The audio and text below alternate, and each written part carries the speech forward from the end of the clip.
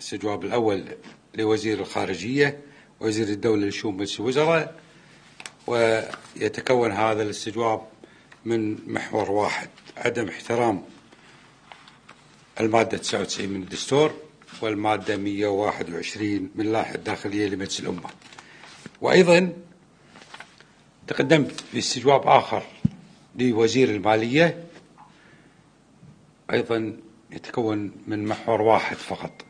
وهذا المحور هو عدم احترام المادة 99 من الدستور والمادة 123 من اللائحة الداخلية.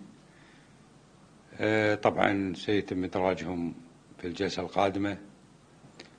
وأتمنى أن يكون الوزراء قادرين على مواجهة الاستجواب. هذا البسيط من محور واحد يعني. ولا يحتاج إلى جهد من الوزراء. لمواجهة هذا الاستجواب. وأعتقد بنفس الجلسة بامكاننا يحضر الوزير ويطلب آه، بدل الاستجواب ومواجهته.